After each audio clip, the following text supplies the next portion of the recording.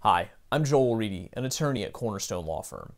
Today I'm going to talk about what you should do if coronavirus has caused you to break your contract. This is a really difficult question, and a lot of businesses, uh, contractors, schools, uh, families, um, a lot of people are wondering, what do I do when coronavirus has made it impossible for me to perform something that I promised I would do legally in a contract?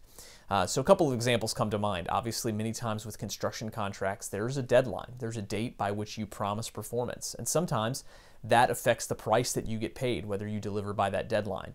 And now you're in a position where the governor of Pennsylvania and the governors of other states and, and even the president have either ordered that you cannot proceed with any work or have at least strongly urged everybody to stop working and to stay away from one another.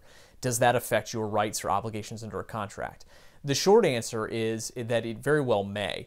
It depends on the language in your contract, but in most cases, you may be able to use that as a defense called impossibility.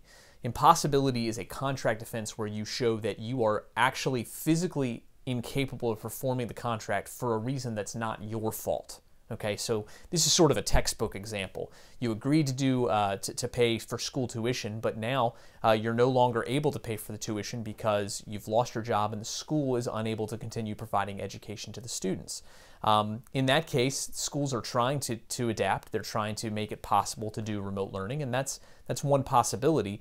But if they're really not able to deliver the education that was promised, there's a another defense that's similar called frustration of purpose. In other words, you contracted to have an education to your kids, and now that's no longer being delivered. The purpose for which you formed the contract has been frustrated. It's really important to just note these are broad principles, and I'm hopeful that this video will help you as you think through these issues. This is not formal legal advice.